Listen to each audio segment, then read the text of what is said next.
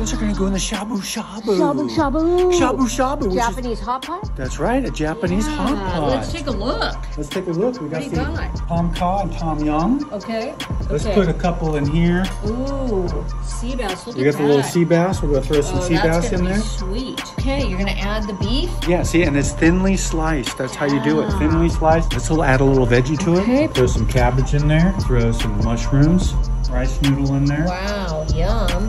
and maybe some tofu. Okay. Get some greens in there. Throw corn in there. Carrot. Oh, look at that. There's that prawn. Add a little lime in that. That's the last thing you need to add into your little soupy soup. Oh, look at that. Mmm.